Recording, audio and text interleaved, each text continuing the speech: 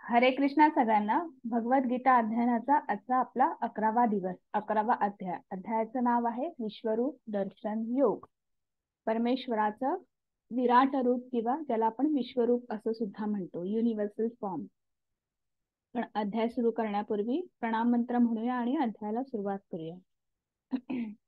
ओम नमो भगवते वासुदेवाय. ओम नमो भगवते वासुदेवाय। ओम नमो भगवते वासुदेवाय।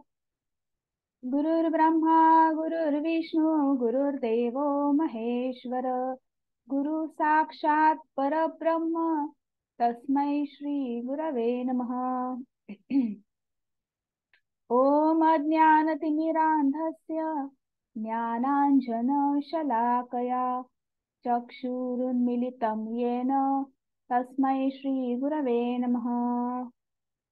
नमः। ॐ विष्णुपादय कृष्णपृष्ठाय पूतले। श्रीमते भक्तिवेदान्त स्वामी इति नामिने। नमस्ते सरस्वती देवे गौरवाणी प्रचारिणे निर्विशेष शून्यवादी पाश्चात्य जयो जय श्री कृष्ण चैतन्य प्रभो नित्यानन्द श्री अद्वैत गदाधर शिवासादि गौरभक्तवृन्द। हरे कृष्णा हरे कृष्णा। कृष्ण कृष्णा, हरे हरे। हरे राम हरे राम। राम राम, हरे हरे।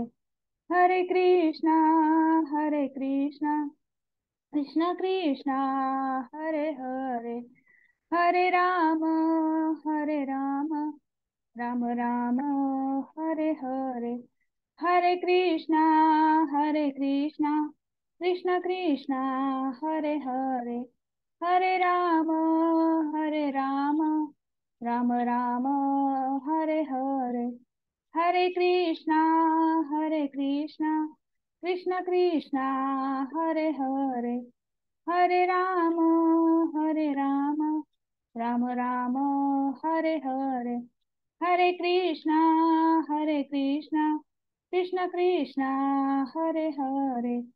हरे राम हरे राम राम राम हरे हरे। हरे कृष्णा हरे कृष्णा कृष्णा कृष्णा हरे हरे।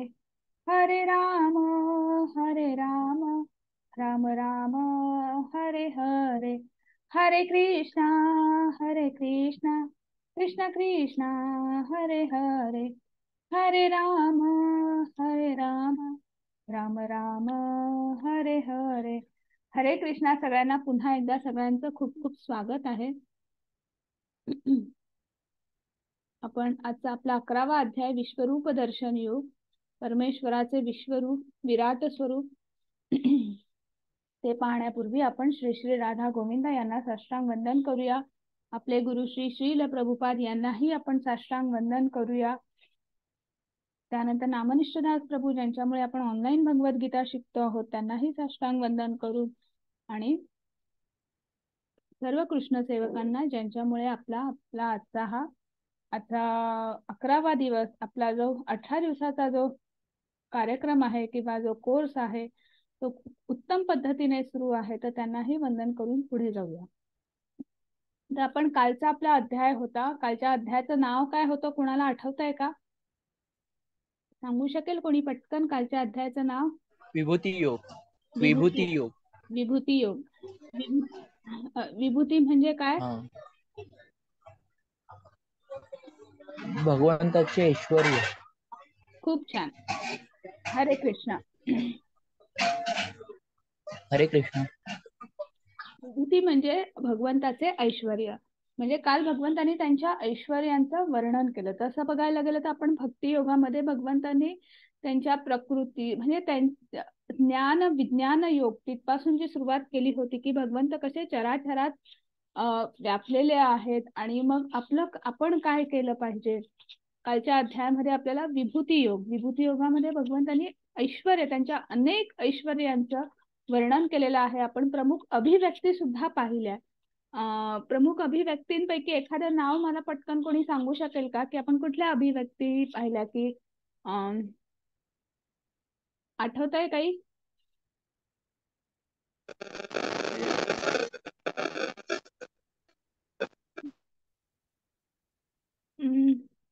हरे कृष्णा.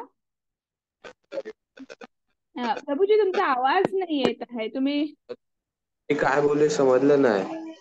परत बोलू शकता. हा.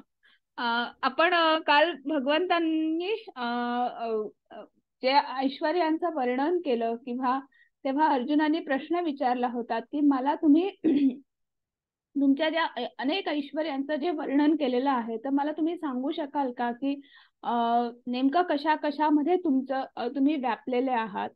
तर भगवंत म्हणाले मी तर सर्वत्र व्यापलेले आहोत पण मी माझ्या काही प्रमुख अभिव्यक्ती तुला तुम्हाला सांगतो किंवा तुला सांगतो अर्जुना. आणि त्यानुसार तुला अंदाज येईल की की ह्या मी कसा चराचरात व्यापलेलो आहोत. तर त्या प्रमुख अभिव्यक्ती काल आपण पाहिल्या होत्या. तीन पैकी ऐरावत देवांपैकी इंद्र अक्षरांपैकी खूप छान. रुद्रांपैकी रुद्र शिव. भगवान शंकर. खूप छान. शंकर. हो हो. खूप छान प्रभूजी. तर आपण काल हे पाहिलं म्हणजे आपण काल ज्या प्रमुख अभिव्यक्ती पाहिल्या आणि काल आपण अजून एक गोष्ट शिकलो.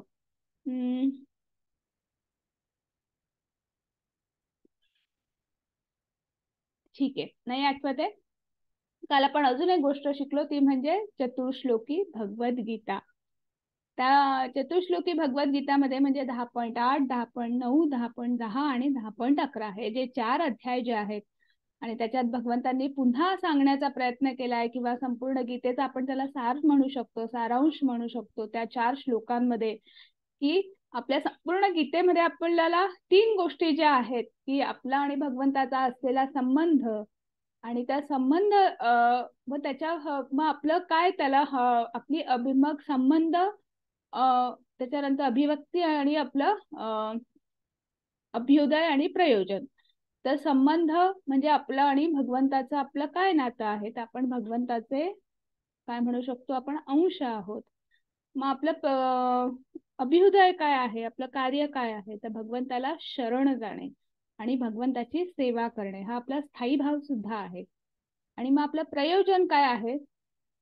तर आपलं प्रयोजन म्हणजे आपलं ध्येय काय असलं पाहिजे आपला गोल काय असला पाहिजे तर आपण ज्या भगवंतधामांपासून दुरावलेलो आहोत ज्या भगवंताच्या घरापासून आपण दुरावलेलो आहोत तर तिथे आपल्याला परत जायचं आहे. तर ह्या तीन गोष्टी त्या चार श्लोकांमध्ये आपण पुन्हा काल पाहिल्या होत्या. आणि मग आज आपण आता विराट रूपदर्शन किंवा विश्वरूप दर्शन मग त्यामध्ये काय बघता आहे ते बघूया. माताजी? हरे कृष्ण. अर्जुन उवाच मदनुग्रहाय परमं गुह्यमज्ञात्मसंज्ञितं यत्त्वयोक्तं वचस्तेन मोहोयं विगतो मम। अर्जुन म्हणाला या परमगुह्य आध्यात्मिक विषयाबद्दल तुम्ही कृपावंत होऊन जे उपदेश दिले आहेत ते ऐकून माझा मोह नष्ट झाला आहे. हरे कृष्ण.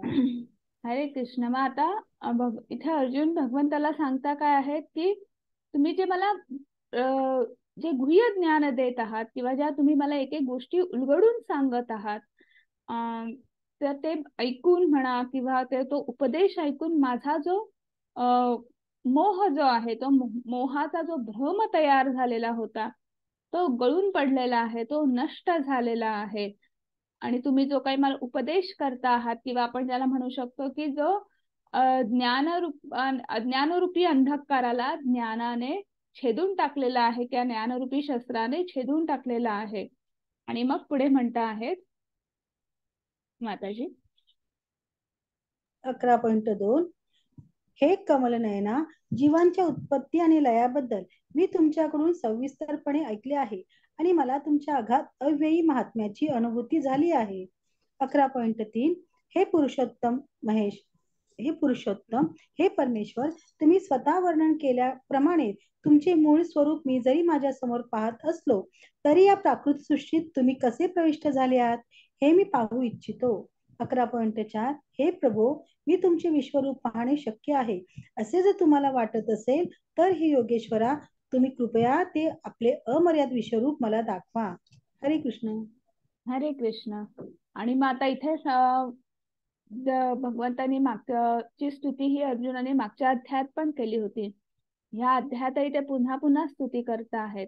की मला ते सांगता आहेत की मला हे कळून चुकलेलं आहे की ह्या ह्या ब्रह्मांडाची या सजीवांची ही जी उत्पत्ती आहे किंवा हे जे लय जे आहे म्हणजे आपण त्याला प्रलय म्हणू शकतो किंवा तर हे सगळं हे तुमच्याच मुळे होत आहे किंवा आणि तुम्ही हे जे मला हे सविस्तरपणे सांगितलेलं आहे आणि जे चिरंतन सनातन आहे तर त्या पराप्रकृतीबद्दलही तुम्ही मला सांगितलेलं आहे.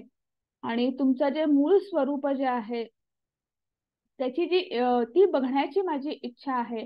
किंवा तुम्ही मला जे काल मला अनेक ऐश्वर्य सांगितले तुमच्या प्रमुख अभिव्यक्ती सांगितल्या जसं तुम्ही मला प्र तुम्ही पराप्रकृती अपराप्रकृती सर्व सर्व वर्णन केलेलं आहे. पण आता मला ते तुमच्या एकाच रूपामध्ये बघायचं आहे अशी कुठेतरी इच्छा व्यक्त करता आहेत. भक्ताची इच्छा आहे आणि ते व्यक्त करता आहेत. पण ते असं नाही सांगत आहेत की कृष्ण तू मला दाखव असं नाही म्हणत आहेत.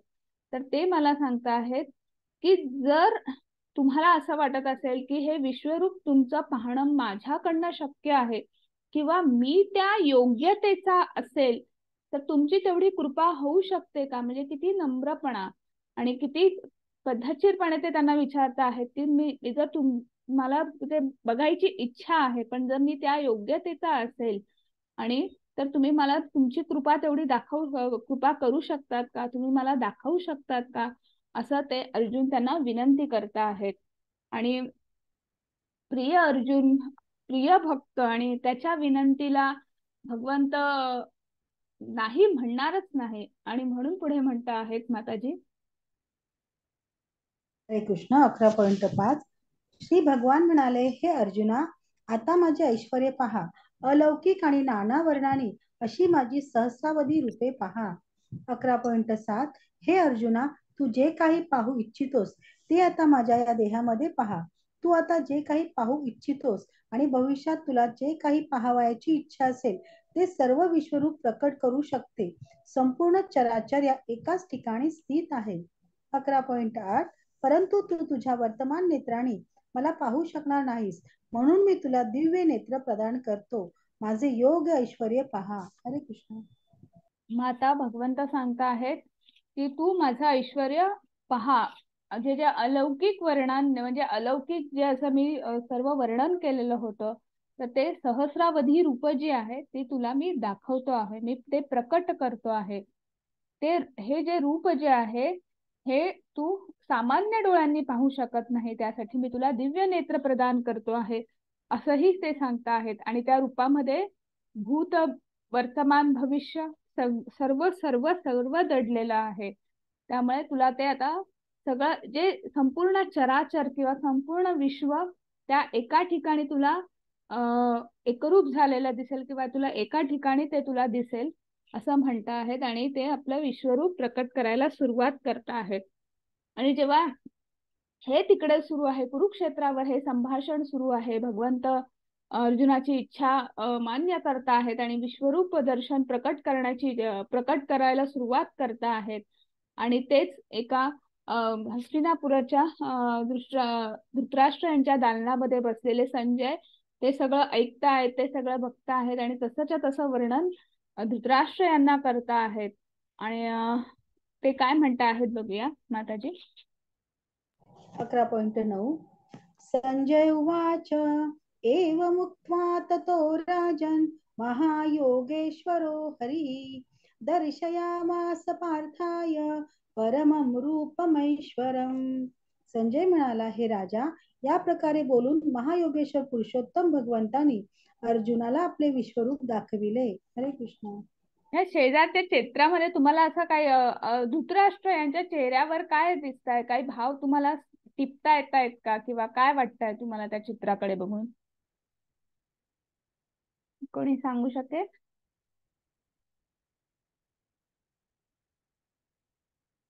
त्यांच्या चेहऱ्यावर काही भाव दिसतायत का? म्हणजे काही तुम्ही टिपू शकतायत का? त्यांच्या चेहऱ्यावर काय भाव आहेत ठीक आहे हरकत नाही.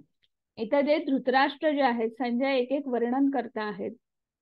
आणि ते सगळं ऐकून कुठेतरी धृतराष्ट्र यांच्या मनामध्ये भीती दडलेली आहे किंवा भीती वाढत चाललेली आहे की आम्ही हे युद्ध माझे मुलं हे युद्ध जिंकतील की नाही? आम्हाला हे राज्य मिळेल की नाही? ही ही जी भीती जी आहे मनातली शंका जी कुठे आहे तर ती अजून बळावत चाललेली आहे. आणि दुसरीकडे संजय त्यांना सांगता आहेत की अशा प्रकारे जी अर्जुनाची जी मागणी होती विनवणी होती विनंती होती तिला मान्यता दिली किंवा तिला त्या विनवणीला भगवंतांनी आपली कृपा दर्शवली आणि आपलं विश्वरूप दर्शन जे आहे ते प्रकट करायला सुरुवात केली आणि ते विश्वरूप दर्शन काय आहे ते आता आपण बघूया. मला ना असं वाटतं की हे विश्वरूप दर्शन जे आहे ना काही जनरली मी प्रत्येकच क्लासमध्ये तुम्हाला वाचायला सांगते एक एक स्लाइड. म्हणजे तुम्हाला की ते वाचून त्याचा अंदाज येईल किंवा काय तर कोणाला वाचायची इच्छा आहे का नाही तर मग माताजी वाचतील. मी वाचू शकतो. हो वाचा वाचा. अकरा पॉइंट दहा. ते अकरा पॉइंट अकरा. अर्जुनाने या विश्वरूपात असंख्य मुखे असंख्य नेत्रे असंख्य अद्भुत दृश्ये पाहिली. हे रूप अनेक अलौकिक अलंकारांनी विभूषित झालेले आणि अनेक दिव्य शस्त्रांनी सज्ज झालेले होते. या विश्वरूपाने अनेक दिव्य वस्त्रे आणि माळा धारण केल्या होत्या आणि अनेक दिव्य सुगंधी द्रव्यांचा त्यांच्या शरीराला लेप दिला होता. विश्वरूपाच्या बाबतीत सर्वच अद्भुत तेजस्वी अनंत आणि सर्व व्यापी होते. अकरा पॉइंट बारा. आकाशामध्ये एकाच वेळी जर हजारो सूर्यांचा उदय झाला तर कदाचित त्यांचे तेज भगवंतांच्या विश्वरूपातील तेजाची बरोबरी करू शकेल. खूप छान प्रभूजी. हरे कृष्णा. मग आता इथे आपण पाहिलं आहे की इथे अर्जुन सांगता आहेत किंवा ह्या ह्या विश्वरूपामध्ये असंख्य मुख आणि मग जेवढी मुख आहेत हजारो सहस्रावधी अब्जावधी मुख जे आहेत आणि त्या मुखांचे म्हणजे एक चेहरा आणि त्या चेहऱ्याचे नेत्र म्हणजे असंख्य नेत्र असंख्य अद्भुत अशी त्यांनी दृश्य पाहिली. मग ती अद्भुत दृश्य काय की प्रत्येक मुख असेल किंवा काय तर त्या प्रत्येक मुखाला असं साजेसा असा अलंकार आहेत. गळ्यामध्ये त्यांच्या विविध दिव्य अशा माळा आहेत. आपण म्हणतो की आपण जेव्हा एक दागिने घालतो किंवा आपण कुठल्याही ऑर्नमेंट्स घालतो दागिने घालतो मोत्याचा असेल सोन्याचा असेल अजून कुठल्याही वेगवेगळ्या प्रकारचे असतील तर आपण ते कशासाठी घालतो की आपल्यातलं सौंदर्य खुलण्यासाठी घालतो. पण आता हे भगवंतांनी ते दागिने घातलेले आहेत किंवा त्यांच्या त्या असंख्य रूपांनी घातलेल्या आहेत तर ते ते त्याने त्या दागिन्यांचं किंवा त्या तो कुठला धातू जो असेल त्या धातूचं सौंदर्य वाढलेलं आहे त्याची चकाकी वाढलेली आहे असं इथे इथे सांगता आहेत आणि अनेक अनेक रूप मग प्रत्येक त्या मुखावर तेवढी मुख मुकुट प्रधान केलेले आहेत तेवढी असंख्य नेत्र असंख्य मग त्या मुखाचे जे कान असतील मग त्याला कुंडल असतील गळ्यामध्ये वेगवेगळ्या विविध माळा असतील अनेक शरीर असंख्य सहस्रावधी शरीर आणि त्याला सुंदर असा चंदनाचा लेप किंवा दिलेला होता. आणि त्या चंदनाचा सुवास जो आहे तो असा दरवळू लागलेला होता त्या वातावरणामध्ये. आणि सारच काही अद्भुत होतं. आणि जसं जसं रूप प्रकट होत होतं जशी जशी रूप प्रकट होत होती तर भगवंताचं जे तेज जे आहे जसं ते त्या त्या तेवढ्या त्या याच्यामध्ये ते तेज असं होतं. त्या दिव्य नेत्रांनी ते तेज इतकं दिपून टाकलेलं होतं की एका वेळी आपण एक सूर्याकडे बघू शकत नाही एक सूर्य त्याच्याकडे बघू शकत नाही त्याच्या त्या प्रखरतेकडे बघू शकत नाही. पण विचार करा हजारो सूर्य आणि हजारो सूर्यांच्या ज्या प्रखर तेज तर त्या तेजाची तर तेव्हा ते तेज कसं असेल? आपण इमॅजिन सुद्धा करू शकत नाही तर तसं तेज त्या कुरुक्षेत्रावर तिथे प्रकट झालेलं होतं. आणि मग पुढे म्हणता आहेत कोण वाचेल? हरे कृष्ण. अजून कोणाला वाचायचंय?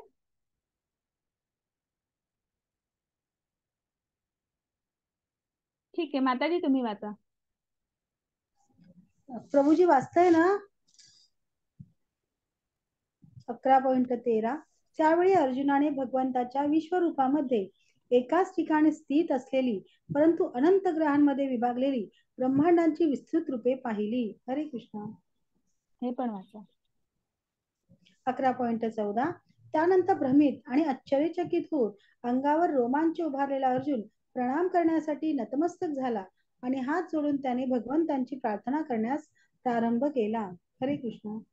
हरे कृष्ण. माता जसं आपण पाहिलं की अनेक अनेक रूप जे आहेत ती एका वेळी सहस्रावधी अब्जावधी रूप प्रकट झाली. कारण की भगवंतांचं संपूर्ण जे आपण पाहिलं की आपण जे ह्या मागच्या चार अध्यायांमध्ये आपण जी जी प्रकृती पाहिलेली आहे त्या प्रकृतीमध्ये भगवंतांचा जो जो विस्तार आपण पाहिलेला आहे तो संपूर्ण विस्तार ते संपूर्ण रूप त्या विश्वरूपामध्ये जे आपण आधी दैव आपण जे अक्षर ब्रह्मयोग आठव्या अध्यायामध्ये आपण शिकलो होतो की अधिदैव म्हणजे काय? तर भगवंता देवांचा देव हो की नाही? देवांचा देव अधिदैव आपण ते पाहिलेलं होतं आणि मग ते म्हणजेच भगवंताचं जे विश्वरूप फॉर्म असेल किंवा विश्वरूप विराट रूप दर्शन जे असेल ते इथे भगवंतांनी प्रकट केलेलं होतं.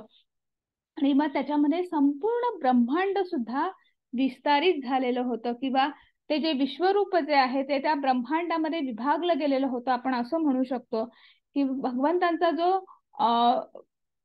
वरचा जो भाग असेल किंवा मुख आणि हातांचा बाहूंचा जो भाग असेल तर तो म्हणजे भगवंतांच्या आपले जे अप प्लॅनेट्स आहेत तो आपण म्हणू शकतो. त्याच्यानंतर कमरेकरचा जो भाग असेल तो म्हणजे भगवंता आपलं पृथ्वी किंवा भू भूलोक आपण म्हणू शकतो पृथ्वीलोक म्हणू शकतो मृत्यूलोक म्हणू शकतो. आणि जो पायाकडचा भाग आहे ते म्हणजे लोअर प्लॅनेट आपण म्हणू शकतो. अशी विभागणी त्या ब्रह्मांडाची त्या याच्यात झालेली आहे. आणि हे सगळं बघून कुठेतरी अर्जुनाच्या अंगावर काटा आलेला आहे अंगावर रोमांच उभा राहिलेला आहे. तर इथे प्रभुपाद त्यांच्या तात्पर्यामध्ये एक्सप्लेन करताना सांगतात की आपल्या अंगावर काटा केव्हा येतो? साधारण मनुष्याच्या किंवा कोणाच्या अंगावर काटा केव्हा येतो? दोन गोष्टी किंवा दोन अनुभूती जेव्हा आपण म्हणजे जेव्हा आपण भौतिक कुठल्या तरी अडचणींमध्ये खूप सापडलेलो असतो किंवा आपल्या कुठलं तरी संकट ओढावलेलं असतं तेव्हा आपल्या अंगावर शहारा येतो. आणि दुसरं भगवंताने सांगितलं जेव्हा आपण एखादी आध्यात्मिक दिव्य अशी अनुभूती आपण अनुभवत असतो तेव्हा आपल्या अंगावर काटा येतो किंवा तेव्हा आपल्या अंगावर रोमांच उभे राहतात.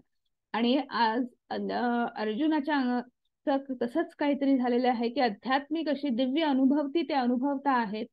आणि त्यामुळे अंगावर काटा आलेला आहे. अन आनंद म्हणू नका परमानंद म्हणू नका. आणि ते सगळं इतकं की सगळं असं उचंबळून आलेलं आहे आणि आपोआपच त्यांचे हात जे आहेत ते जोडले गेलेले आहेत.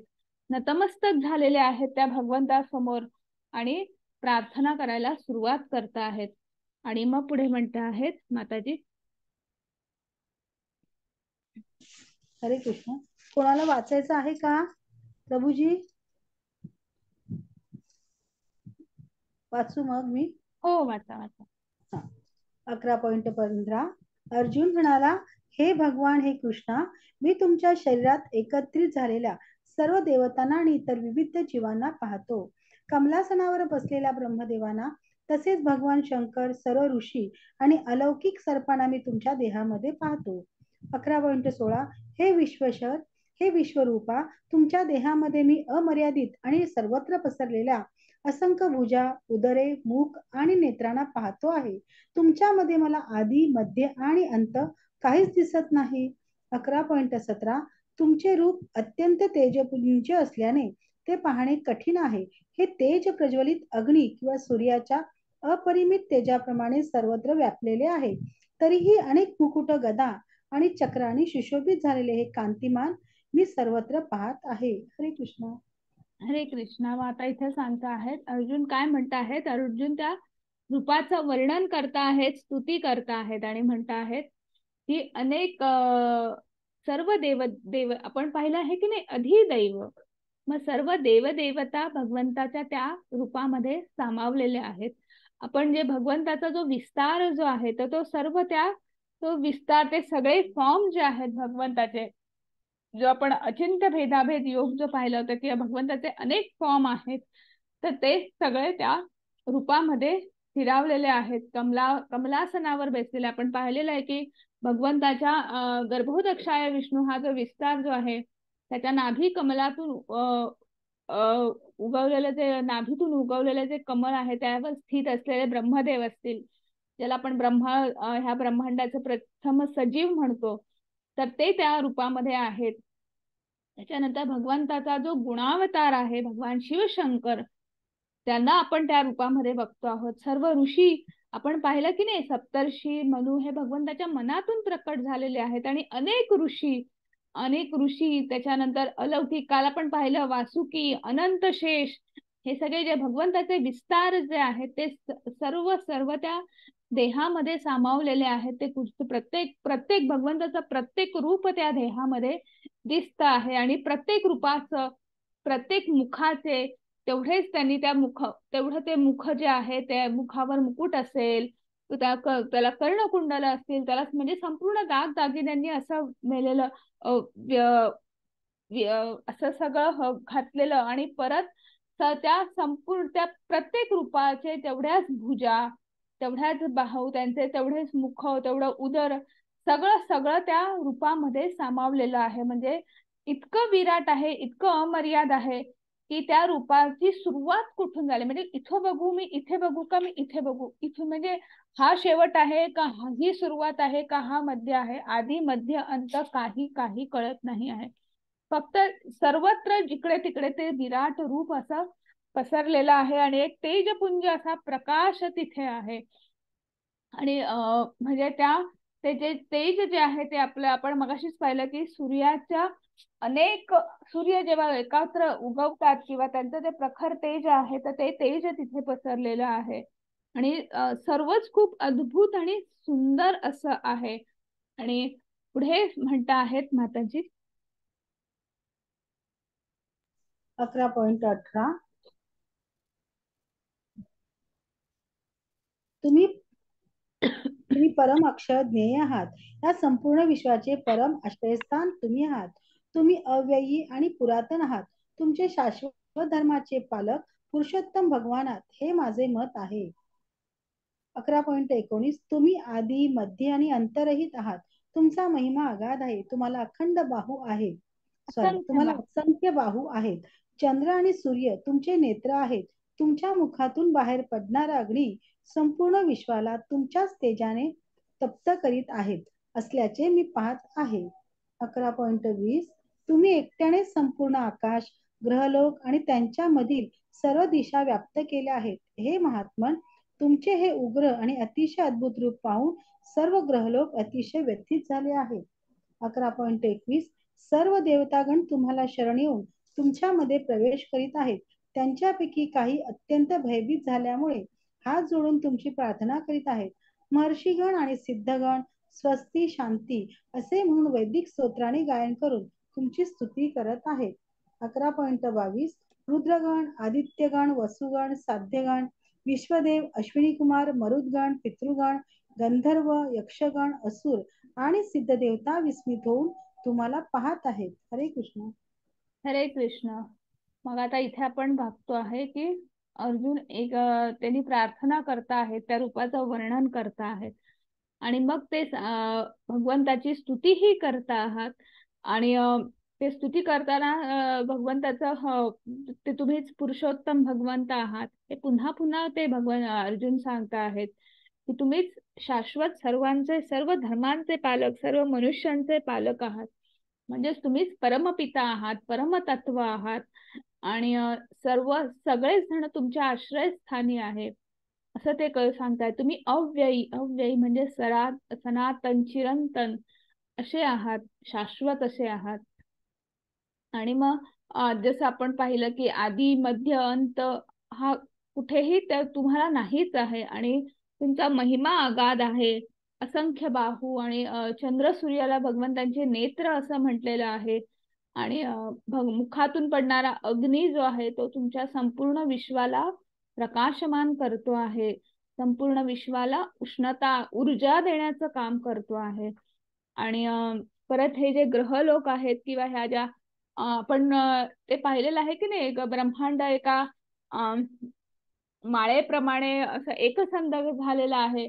तर तिथे पुन्हा ते सांगता आहेत की तुमचं हे जे संपूर्ण ग्रहलोक आहे आकाश पृथ्वी हे सगळंच ग्रहलोक जे आहे त्या सर्व दिशा असतील तर हे खूप उत्तम पद्धतीने किंवा हे सगळं पाहून पण हे सगळं बघताना ते एका एकसंध झालेलं किंवा हे एवढं प्रचंड विराट रूप बघताना भगवंताला कुठेतरी अर्जुनाला कुठेतरी भयभीत सुद्धा वाटतं. भयभीत म्हणण्यापेक्षा भगवंताला पुन्हा पुन्हा किंवा ते हे जे रूप जे बघून जे अर्जुनाच्या अंगावर शहारे आलेले आहेत ते बघून काही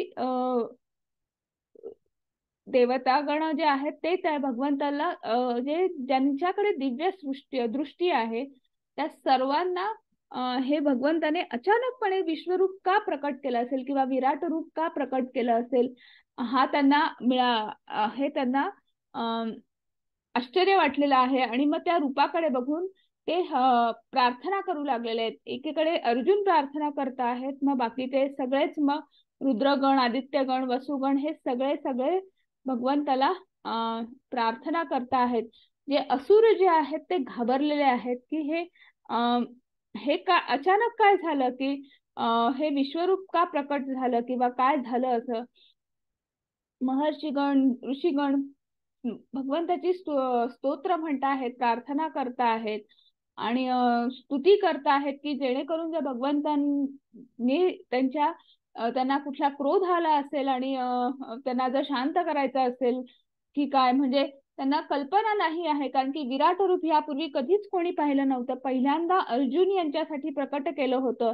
आणि अर्जुन यांच्यासाठी प्रकट केल्यानंतर ज्या देवदेवता आहेत जे ऋषीगण आहेत की ज्यांना आत्मसाक्षात्कार झालेला भगवंताचं ते ते परमात्मा रूप दर्शन झालेलं आहे पण आज त्यांना विराट रूप दर्शन झालेलं आहे. ज्या विराट रूपाची व्याप्ती ते जाणू शकत नव्हते ते सुद्धा आज ते विराट रूप बघत आहेत. आणि म्हणून कुठेतरी भयभीत सुद्धा झालेले आहेत आणि म्हणून ते पुन्हा पुन्हा प्रार्थना करता आहेत.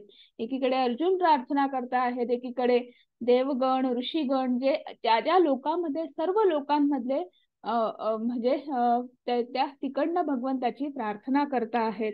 आणि भगवंताची स्तुती करता आहेत. आणि मग पुढे म्हणता आहेत माताजी. अकरा पॉइंट तेवीस.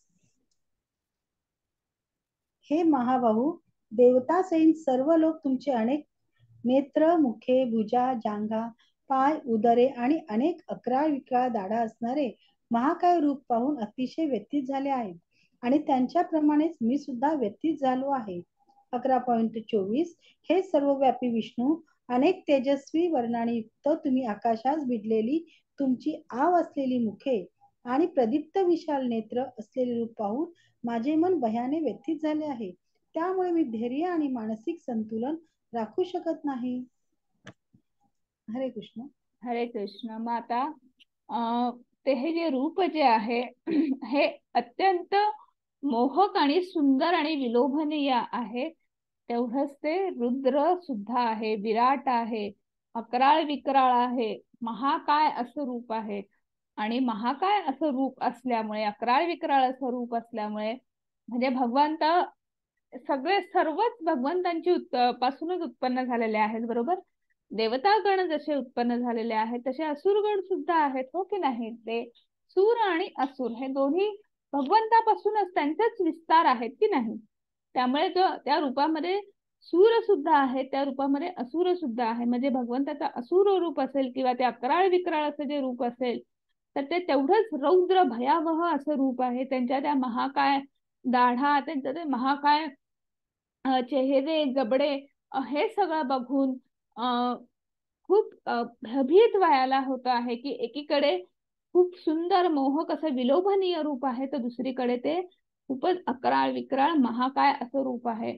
आणि त्यामुळे भगवंताचं हे रूप बघून अर्जुनाचं कुठेतरी अंगावर रोमांच आलेलं आहे उभारलेलं आहे सगळं ठीक आहे. पण हळूहळू आता तेच रूप बघून ते सगळं भगवंताचं माझ मी ज्या भगवंता सोबत होतो त्या भगवंताचं हे रूप बघून त्यांना त्यांचं कुठेतरी मानसिक संतुलन म्हणा किंवा त्यांचं जे मन जे आहे ते थाऱ्यावर राहिल्यासारखं झालेलं नाही आहे. कुठेतरी मनामध्ये एकदम असं काय म्हणू शकतो आपण की आनंद आनंदही आहे भीतीही आहे असं सगळं सगळ्या भावना ज्या आहेत त्या एकत्रित झालेल्या आहेत. आणि म्हणून ते म्हणता आहेत की मी माझं मानसिक संतुलन कुठेतरी माझं अं डळमळीत व्हायला लागलेलं आहे. आणि मग पुढे म्हणता आहेत माताजी? अकरा पॉइंट सव्वीस सत्तावीस. स्वपक्षीय राजांसहित सर्व धृतराष्ट्रपूत भीष्म द्रोण कर्ण आणि आमच्या पक्षातील मुख्य योद्धे पण तुमच्या मुखात त्वरित प्रवेश करीत आहेत. काही जण तुमच्या दातामध्ये अडकून त्यांच्या मस्तकांचा चुराडा झाल्याचे मला दिसत आहेत. अकरा पॉईंट अठ्ठावीस. ज्याप्रमाणे नद्यांचे अनेक प्रवाह समुद्रात प्रवेश करतात त्याचप्रमाणे हे सर्व महान योद्धे प्रज्वलित होऊन तुमच्या मुखामध्ये प्रवेश करीत आहेत. हरे कृष्ण. हरे कृष्ण. आता इथे सांगता आहेत की स्वपक्षीय राजांचे म्हणजे सर्व राजांसहित सर्व धृतराष्ट्रपुत्र जे आहेत किंवा भीष्म पितामह असतील कर्ण असेल गुरु द्रोणाचार्य आहेत किंवा अनेक रथी महारथी या युद्धामध्ये जे आहेत दोन्ही पक्षातील तर ते सर्व भगवंताच्या त्या मुखामध्ये प्रवेश करत आहेत. याचा अर्थ असा आहे की भगवंतांनी सुरुवातीलाच सांगितलं की या रूपामध्ये भूत भविष्य भूत वर्तमान आणि भविष्य ह्या तिन्ही गोष्टी तुला दिसणार आहेत सामावणार आहेत. कारण की हे सगळं भगवंताचेच विस्तार आहेत की नाही? आणि मग त्यामुळे तिथे भविष्य काळ दिसतो आहे. भविष्य काळ असा दिसतो आहे की ह्या युद्धभूमीवर जे रथी महारथी आहेत तर त्यांचा मृत्यू तिथे दिसतो आहे. भगवंताच्या मुखात जात आहे. त्याचा अर्थ असा आहे की ते त्या त्यांचा मृत्यू जो आहे तो त्या युद्धभूमीवर होणार आहे. आणि जे अनेक ते मुखातून बाहेर पडत आहे तर त्यांचा त्या क्षणी कुठेतरी जन्म होतो आहे. आणि मग त्यांचा हा हा जो अनेक लोक त्या मुखातून जात आहेत किंवा अनेक लोक त्या मुखामध्ये पुन्हा प्रवेश करत आहेत याचा हा जो प्रवाह जो आहे त्या प्रवाहाला नदीच्या प्रवाहाची उपमा दिलेली आहे किंवा इतक्या म्हणजे एका वेळी असंख्य लोक एका वेळी जन्म घेतात आणि असंख्य लोकांचा एका वेळी मृत्यू होतो. आणि आणि म्हणून इथे आणि त्या मृत्यूमध्ये म्हणजे त्या भविष्यामध्ये त्यांना दिसत आहे की त्यांचे सगळे ते अपतेष्ट जे नातेवाईक मित्रगण सगळे जे आहेत त्यांचा ह्या ह्या युद्धभूमीवर एक पाच पांडव सोडले तर सगळ्यांचा मृत्यू तिथे अर्जुन यांना दिसत आहे. आणि मग पुढे हे म्हटल्यानंतर अर्जुनाला अर्जुन जेव्हा सांगता आहेत तेव्हा भगवंत त्यांना अर्जुनाला म्हणता आहेत माताजी. हरे कृष्ण. अकरा पॉइंट बत्तीस. श्री भगवान उवाच. कालोऽस्मि लोकशयकृत् प्रवृद्धो. लोकान् समाहर्तुमिह प्रवृत्तः. ऋते पीत्वा न भविष्यन्ति सर्वे ये स्थितः प्रतिनिकेषु योद्धा. श्री भगवान म्हणाले जगताचा विनाश करणारा काळ मी आहे आणि सर्व लोकांचा संहार करण्यासाठी मी या ठिकाणी आलो आहे. तुझ्या व्यतिरिक्त पांडवां व्यतिरिक्त दोन्ही सैन्यातील योद्ध्यांचा विनाश होणार आहे. हरे कृष्ण. हरे कृष्ण. मग एकीकडे जेव्हा हे बघितलं की असंख्य लोक असंख्य प्राण मनुष्य प्राणी असंख्य जण भगवंताच्या मुखात प्रवेश करत आहेत. आणि त्या असंख्य लोकांमध्ये हे ह्या युद्धभूमीवर असलेले रथी महारथी त्यांचे प्रिय पितामह भीष्म गुरु द्रोणाचार्य सगळे सगळे जण त्या मुखात प्रवेश करत आहेत. आणि हे जेव्हा बघता आहेत विचारत आहेत तेव्हा अर्जुन अर्जुनाला भगवान श्रीकृष्ण म्हणता आहेत की हो मीच काळ आहे. मी ह्या ह्या युद्धभूमीवर किंवा मी इथे काळ बनून आलेलो आहे किंवा सर्वांचा संहार करण्यासाठी मी इथे आलेलो आहे. आता ह्या इथे युद्धभूमीवर जमलेल्या सर्व जे कोणी जमलेले आहेत तर पाच पांडवांव्यतिरिक्त इथून कोणीही परत जाणार नाही आहे. सगळ्यांचा इथे संहार होणार आहे. या सगळ्यांचा काळ बनून किंवा संहारक बनून मी इथे आलेलो आहे. आणि एवढंच बनून एवढंच म्हणून इथे भगवंत थांबत नाही आहेत. तर आता काळ. काळ आपण पहिल्या अध्यायात पाहिलं होतं की पाच विषय. बरोबर? आपण पाच विषय आपण ह्या भगवद्गीतेमध्ये शिकणार आहोत. त्यातला काळ हा एक विषय आहे. तर काळ म्हणजे कोणतं? साक्षात भगवान श्रीकृष्ण. म्हणजे भगवंत भगवान श्रीकृष्णांचा विस्तार म्हणजे त्यांचं जे शस्त्र जे आहे सुदर्शन चक्र तर त्या सुदर्शन चक्राचा विस्तार म्हणजे त्यांचं त्याच एक काळ हे स्वरूप आहे. आणि भगवंत सांगता आहेत की मीच काळ आहे. आणि काळाची व्याख्या आपल्याला श्रीमद भागवतममध्ये सुद्धा खूप उत्तम पद्धतीने म्हणजे तिथे आपल्याला अभ्यासाला मिळते. आणि अर्जुनाला सांगता आहेत की मी काळ बनून आलेलो आहे आणि नुसतं एवढं बघून सांगून ते थांबत नाही आहे तर पुढे अर्जुनाला सांगता आहेत माताजी. हरे कृष्ण. अकरा पॉइंट तेहतीस. तस्मात्त्वमुत्तिष्ठो यशो लभस्व जित्वा शत्रुन् भुक्ष्व राज्यं समृद्धम्। मयेवैते निहता पूर्वमेव निमित्तमात्रं भव सव्यसाचिन। म्हणून उठ युद्धास तयार हो आणि यशप्राप्ती कर. शत्रूवर विजय मिळव आणि समृद्ध राज्याचा उपभोग घे. माझ्या योजनेनुसार त्या त्यांचा पूर्वीच मृत्यू झाला आहे. आणि हे सव्य साक्षी युद्धामध्ये तू केवळ निमित्त मात्र होऊ शकतोस. हरे कृष्ण. हरे कृष्ण. मग आता इथे सांगता आहेत की सव्यसाची सव्यसाची ही उपमा आहे अर्जुनाला दिलेली. तर सव्यसाची या शब्दाचा अर्थ असा आहे की जो दोन्ही हाताने तेवढाच तरबेज असतो किंवा अर्जुन जो आहे तो दोन्ही हाताने म्हणजे डावा हात असेल उजवा हात असेल दोन्ही हाताने तेवढाच तरबेज पद्धतीने तो युद्ध करू शकत. होता इथं स्काल्पेलचं तुम्हाला चित्र दाखवलेलं आहे. म्हणजे स्काल्पेल कसं दुधारी आहे बरोबर? डॉक्टर लोक ऑपरेशन करताना किंवा ऑपरेशन थिएटरमध्ये स्काल्पेल का वापरतात? म्हणजे ऑपरेशनसाठी वापरतात. म्हणजे जे दुधारी आहे तसाच अर्जुन जो आहे तो सव्यसाचीने दोन्ही हाताने तो तेवढाच कुशलतेने नैपुण्यतेने युद्ध करू शकतो. आणि म्हणून त्यांना ते सांगता आहेत की अर्जुना हे यांचा मृत्यू जो आहे ही योजना जी आहे ही आधीच ठरलेली आहे. याचं प्लॅनिंग आधीच झालेलं आहे. तुला फक्त काय करायचं आहे ती योजना अंमलात आणायची आहे. ती योजना पूर्ण करण्यासाठी अंमलात आणण्यासाठी तुझी नियुक्ती झालेली आहे. त्यामुळे तुला फक्त काय करायचं आहे की तुझं जे कार्य जे आहे मग तुझं कार्य काय आहे तुझी नियुक्ती इथे झालेली आहे. इथे युद्ध करण्याची आणि तुझ्या हातून यांचा मृत्यू होणार आहे.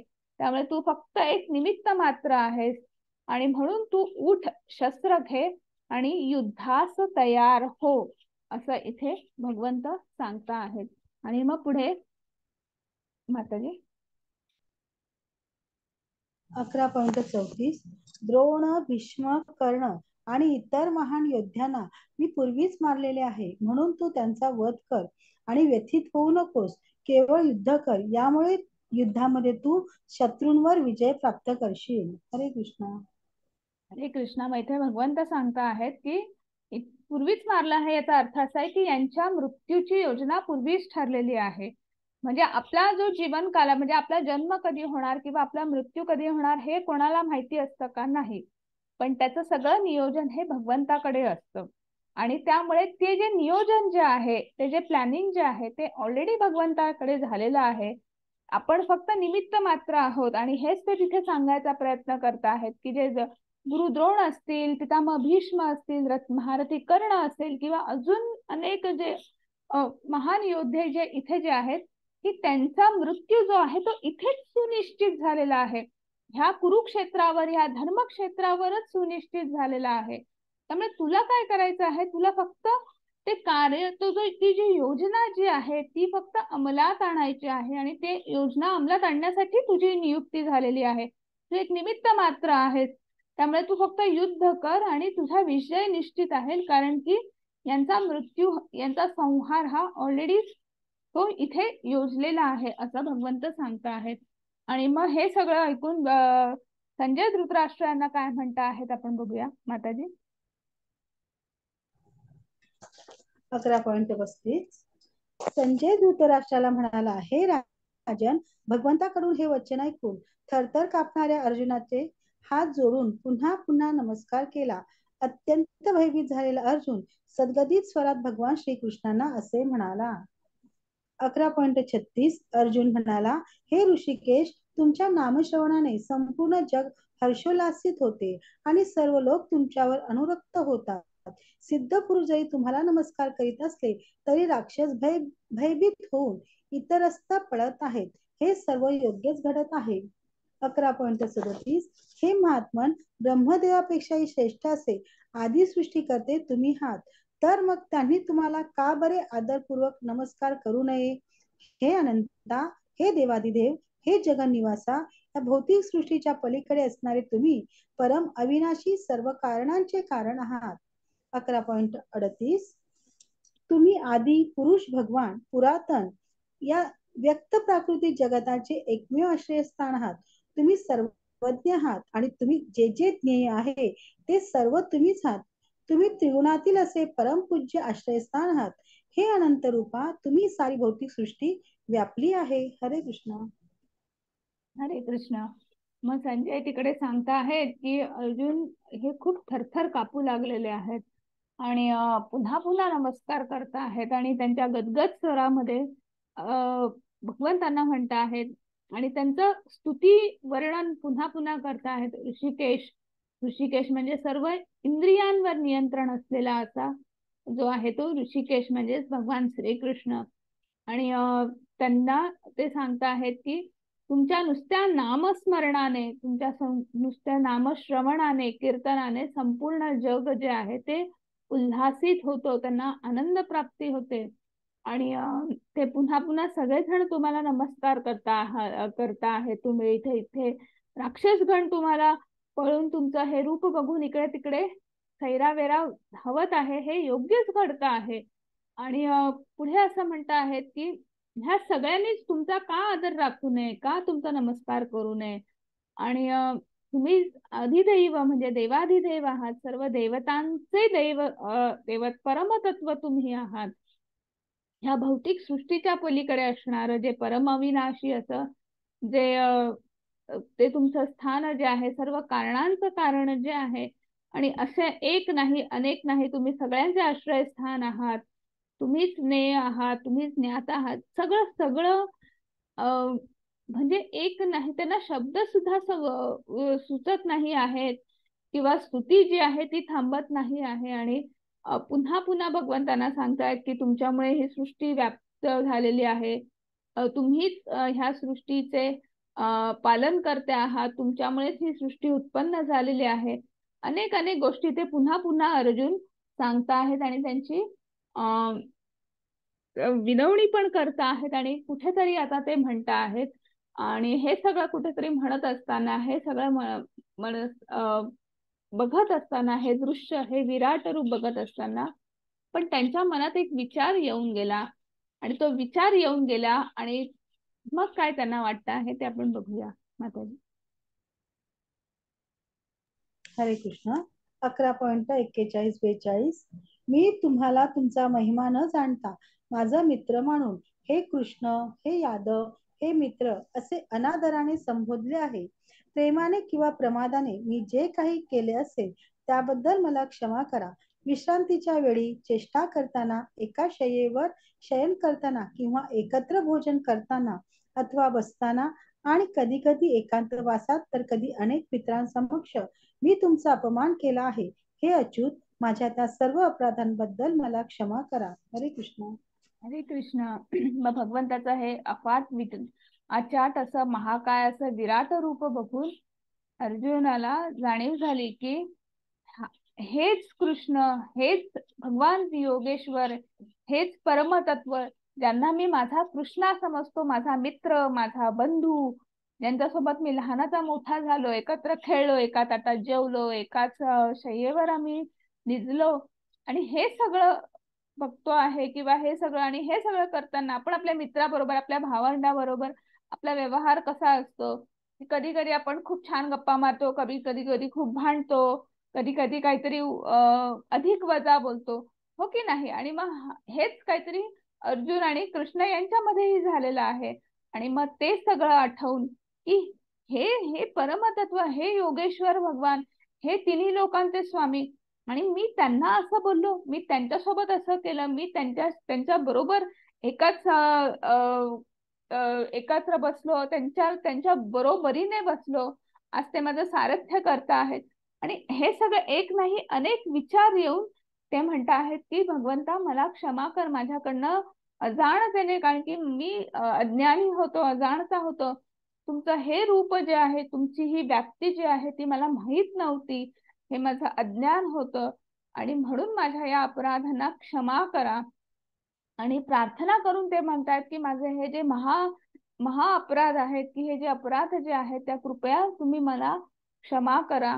आणि मी तुमचा जर कुठे चुकत मुकत जर मी अपमान केला असेल जर काही बरं वाईट कमी जास्त बोललं असेल तर माझे अपराध एक अज्ञानी म्हणून तुम्ही पोटात घ्या. अशी पुन्हा पुन्हा ते विनवणी करता आहेत आणि मग पुढे म्हणता आहेत माताजी अकरा पॉईंट पंचेचाळीस. पूर्वी मी कधीही न पाहिलेले विश्वरूप पाहिल्यानंतर आनंदित झालो आहे. परंतु त्याचबरोबर भयाने माझे मन व्याकुळ झाले आहे. म्हणून हे देवादिदेव हे जगनिवासा कृपया माझ्यावर प्रसन्न व्हा आणि तुमच्या पुरुषोत्तम भगवान रूप प्रकट करा. हरे कृष्ण. हरे कृष्ण. आता इथे सांगता आहेत की मी पूर्वी कधीही न पाहिलेलं विश्वरूप म्हणजे मी पाहि हे जे विश्वरूप जे आहे ते भगवान अर्जुनाने यांनी कधीच पाहिलं नव्हतं.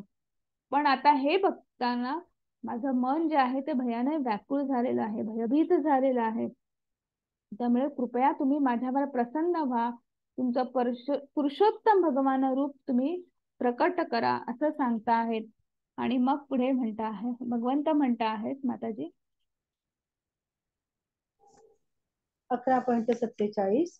श्री भगवान म्हणाले हे अर्जुन मी तुझ्यावर प्रसन्न होऊन माझ्या अंतरंगा शक्तीद्वारे या प्राकृत जगतातच हे परमश्रेष्ठ विश्वरूप तुला दाखविले. तुझ्या वाचून पूर्वी कोणीच हे अनंत तेजोमय आणि आद्यरूप पाहिलेले नाही. अकरा पॉईंट अठ्ठेचाळीस हे कुरुप्रवीर तुझ्या पूर्वी माझे विश्वरूप कोणीही पाहिलं नव्हतं. कारण वेद्याध्ययनामुळे वेद्या अध्ययना अध्ययनाने यज्ञाने दानाने पूर्ण पुण्यकर्माने किंवा उग्र तप करण्याने मला विराट रूपात या भौतिक जगतामध्ये पाहणे शक्य नाही. अकरा पॉईंट एकोणपन्नास माझे भयंकर रूप पाहून तू व्यथित आणि भ्रमित झाला आहेस. आता हे रूप मी समाप्त करतो. हे मदभक्ता सर्व क्लेशातून मुक्त हो. तुला जे रूप पाहण्याची इच्छा आहे ते रूप आता शांत चित्ताने पाहू शकतोस. हरे कृष्ण. हरे कृष्ण. आता इथे सांगता आहे भगवंत की हे जे रूप जे आहे हे जे विराट असं स्वरूप जे आहे हे फक्त मी आणि मीच प्रकट करू शकतो अशी शाश्वती कुठेतरी देता आहेत आणि सांगता आहेत की ह्या आधी कोणीच पाहिलेलं नाही आहे. हे जे रूप जे आहे हे सगळ्यात प्रथम म्हणजे पहिल्यांदा अर्जुनासाठी प्रिय भक्तासाठी भगवंतांनी प्रकट केलेलं आहे. आणि मग ते म्हणत आहेत की हे विश्वरूप कोणी नाही पाहिल्याने म्हणजे तुम्ही वेदाध्ययन करा तुम्ही वर्षानुवर्ष लाखो वर्ष ज्यांनी तप केलेलं आहे अशा ऋषी मुनींना सुद्धा ह्या रूपाचं दर्शन झालेलं नाही आहे किंवा त्यांनी अनेक असंख्य यज्ञ केलेली आहेत त्यांनी ज्यांनी खूप दान धर्म पुण्य म्हणजे पुण्यकर्म केलेलं आहे किंवा त्यांनी किती तप केलेलं आहे त्यांनी वर्षानुवर्ष तपश्चर्या केलेली आहेत. पण त्यांना कोणालाही ह्या रूपाचं दर्शन झालेलं नाही. हे त्यांना फक्त झालेला माझा आत्मसाक्षात्कार म्हणजे त्यांना परमात्मा स्वरूप याचं दर्शन झालेलं आहे. किंवा जे अनन्य भक्तिभावामध्ये त्यांना जे माझं जे रूप जे आहे तर ते त्यांना दिसलेलं आहे. पण माझं विराट स्वरूप जे आहे ते सर्वप्रथम हे मी तुझ्या समोरच प्रकट केलेलं आहे. आणि हे फक्त मी आणि मीच प्रकट करू शकतो. असं इथे सांगता आहेत त्यामुळे तू भयभीत होऊ नको तू घाबरू नकोस. आता तू तू मला दिसतंय मला समजत आहे की तू व्याकुळ झालेला आहेस. पण मी आता माझं हे रूप समाप्त करतो आणि तुला जे रूप पाहण्याची इच्छा आहे तू ते शांत चित्ताने पहा. आणि असं म्हणून भगवंताने त्यांचं पुरुषोत्तम भगवान रूप जे आहे ते प्रकट केलेलं आहे. जे भगवंताचं चतुर्भुज रूप जे आहे ते भगवंतानी प्रकट केलेलं आहे जे आपल्या सगळ्यांच्या परमात्मा स्वरूपामध्ये आहे.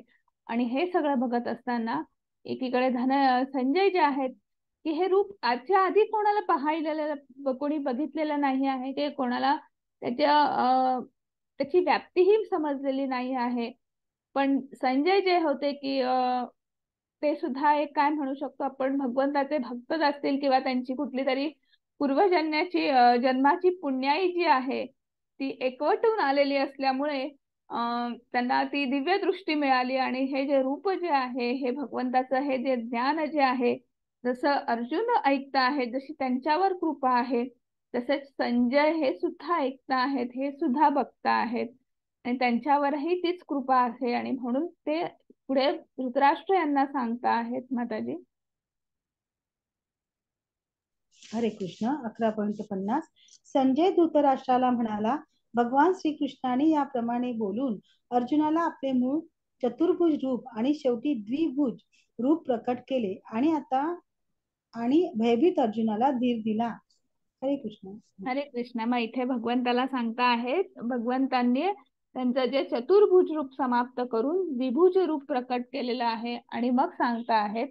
माताजी. अकरा पॉइंट एक्कावन्न. अर्जुनाने जेव्हा श्रीकृष्णांना मूळ रूपात पाहिले तेव्हा तो म्हणाला हे जनार्दन हे अति सुंदर मनुष्य रूप पाहून मी आता शांत चित्त झालो आहे आणि मी आपला आपल्याला पूर्व आपल्या पूर्वस्थितीत आलो आहे. अकरा पॉइंट बावन्न. श्री भगवान म्हणाले हे अर्जुना आता तू माझे जे रूप पाहत आहेस त्याचे दर्शन होणे अतिशय दुष्कर आहे. देवता सुद्धा हे मधुर रूप पाहण्याची संधी प्राप्त करण्याचा नित्य प्रयत्नात असतात.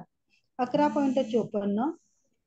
हे अर्जुना मी जसा तुझ्या समोर उभा आहे तसेच मला केवळ अनन्य भक्ती योगाने जाणणे शक्य आहे आणि या प्रकारे मला साक्षात पाहता येते. केवळ याच मार्गाने तू माझ्या रहस्यमय तत्वात प्रवेश करू शकतोस. हरे कृष्ण. हे पण वाचा माताजी. अकरा पॉइंट चोपन्न. माताजी श्लोक.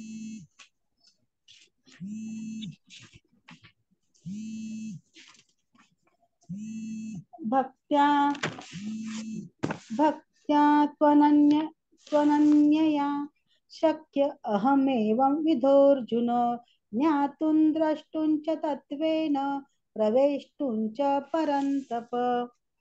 हे अर्जुना मी जसा तुझ्या समोर उभा आहे तसेच मला केवळ अनन्य भक्ती योगाने जाणणे शक्य आहे. आणि या प्रकारे मला साक्षात पाहता येते. केवळ याच मार्गाने तू माझ्या रहस्यमय तत्वात प्रवेश करू शकतोस. हरे कृष्ण. हरे कृष्ण. माता इथे आपण पाहिलं की भगवंतांनी त्यांचा चतुर्भुज रूप प्रकट केलेला आहे. चतुर्भुज रूप हेच भगवंतांचं परमात्मा स्वरूप जे आहे ते आपल्याला आपल्या सगळ्यांच्या हृदयामध्ये स्थित आहे. हो की नाही आपण आधीच पाहिलेलं आहे आणि भगवंतांनी तेच रूप प्रकट केलं आणि त्याच्यानंतर भगवंतांचा द्विभुज रूप जे आहे ते त्यांनी प्रकट केलं. आणि अर्जुन त्यांना सांगता आहेत की तुम्ही हे जे रूप तुमच्या विराट रूप जे आहे ते बघून जे मी भयभीत झालो होतो पण तेच तुमचं श्यामसुंदर मोहक रूप पाहून मी तेवढाच शांत झालेलो आहे आणि पूर्वस्थितीत आलेलो आहे.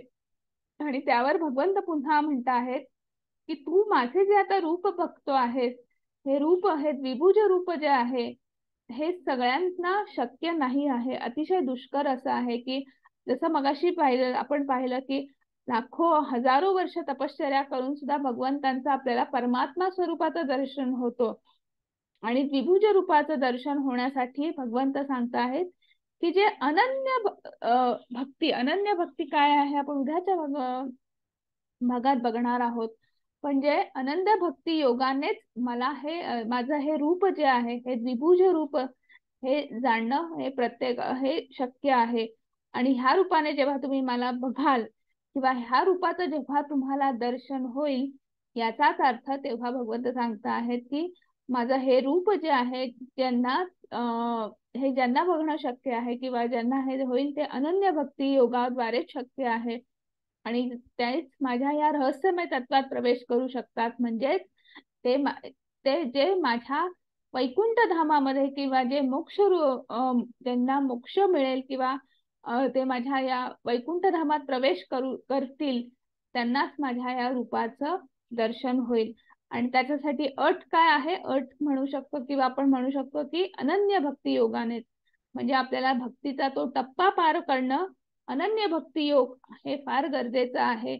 मग भक्तीचे वेगवेगळे टप्पे काय आहेत? वेगवेगळे प्रकार काय आहेत? हे आपण उद्याच्या भागात बघणार आहोत. आणि मग आता आपण बघूया की भगवंत काय म्हणता आहेत माताजी? अकरा पॉइंट पंचावन्न.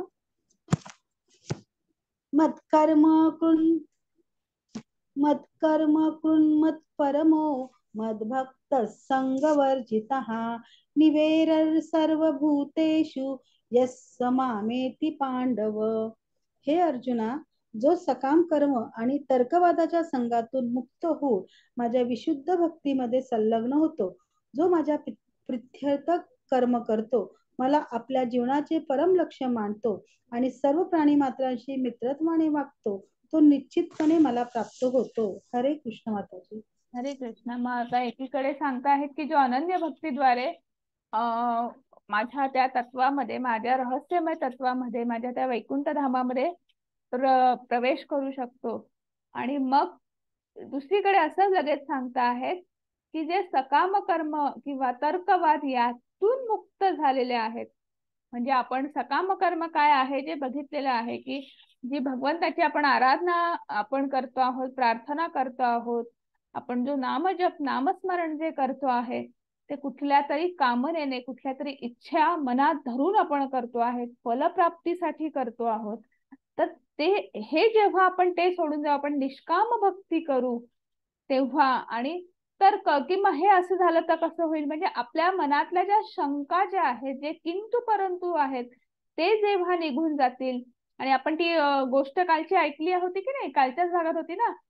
ती मोची म्हणजे तो सांभार जो असतो तो आणि ब्राह्मणाची गोष्ट तर तो जो तो त्या मोचीचा किंवा तो चांभार त्याच्या मनातला जो भाव जो होता म्हणजे ब्राह्मण याच्या मनात जो भाव होता तो काय होता की त्याच्या मनात अजून काहीतरी तर्क वितर्क होते पण याची याला याचा जी दृढ विश्वास श्रद्धा याचा जो भाव जो होता म्हणजे जो भाव भगवंता तुला काय हवं आहे की कुठलाही तो तर्कवादाच्या पलीकडे जाऊन फक्त प्रेम भाव आणि भाव भक्तीने माझ्याकडे माझ्याकडे बघेल किंवा माझं स्मरण करेल माझी आराधना करेल आणि माझ्याशी संलग्न होईल. म्हणजे ती जी द्वैताची भावना सोडून जो अद्वैताकडे पण त्या अद्वैताकडे वळताना सुद्धा कुठलाही किंतु परंतु मनात नसेल किंवा कुठलंही इच्छा मनात नसेल तर तो नक्कीच हे लक्ष पार करू शकतो. म्हणजे त्याचा आपण प्रयोजन काय आहे की माझ्या भगवत धामामध्ये परत यायचं माझ्या वैकुंठ लोकात परत यायचं. तर अशा लोकांना मी विष्णुदूत पाठवतो आणि ते विष्णुदूत त्या लोकांना अशा त्या भक्तांना माझ्या वैकुंठ धामामध्ये घेऊन येतात. याची तू निश्चिती बाळग किंवा हे हे फॉर शुअर आपण म्हणू शकतो की नाही की हे भगवंत खात्रीलायक सांगत आहेत की जो माझ्याशी मित्रत्वाने वागतो जो माझ्यावर प्रेम करतो मी त्यालाही त्याच भावनेने म्हणजे आपण ज्या भावनेने आपण भाव भक्ता भगवंताकडे बघतो आहे तीच भावना भगवंत आपल्याला परत देतो आहे परत करतो आहे. त्याच भावनेने मी त्यांना प्राप्त होतो आहे असं भगवंत पुन्हा एकदा सांगत आहेत. आणि मग आपण आजच्या भागात काय पाहिलं? तर अर्जुनाने कृष्णाला त्यांचे वैश्विक रूप दाखवण्याची इच्छा प्रकट केली विनंती केली. आणि मग भगवंत त्यांच्या वैश्विक रूपाचं वर्णन करता आहेत. भगवान श्रीकृष्ण त्यांचं वैश्विक रूप प्रकट करता आहेत आणि अजून वैश्विक स्वरूपाचं ते रूपाचं वर्णन करून त्या वैश्विक स्वरूपाचा अनुभव काय आहे अनुभूती काय आहे तर ती आपण ह्या अध्यायात पाहिली. आणि मग एकीकडे त्याच रूपामध्ये भूत भविष्य भूत वर्तमान भविष्य हे सर्व असल्यामुळे कुठेतरी त्यांना भविष्य काळही दिसला. आणि मग त्याचं उत्तर भगवंत देत आहे की हा मीच हा जो काळ जो आहे हा जो संहारक जो आहे तर कालोस्मी लोकक्षयकृत प्रवृद्ध. असं म्हणून ते सांगता आहेत की ह्या सगळ्या लोकांचा संहार करण्यासाठी मी इथे आलेलो आहे. आणि हे सगळं महाकाय असं विराट स्वरूप बघून भगवान अर्जुनाची अर्जुन भगवंताची पुन्हा पुन्हा विनवणी करता आहेत प्रार्थना करता आहेत. आणि त्यांचं हे भय अर्जुनाचं हे थरकाप बघून किंवा अंगावर आलेले हे काटे बघून मनाची झालेली अवस्था बघून त्यांनी त्यांचं ते रूप जे आहे ते समाप्त केलं. आणि मग त्यांना त्यांच्या त्या पुरुषोत्तम भगवंत रूपामध्ये चतुर्भुज रूपामध्ये आणि नंतर द्विभुज रूपाचं वर्णन दर्शन दिलं. आणि इथेच आपला आजचा अध्याय संपला. हरे कृष्णा सगळ्यांना.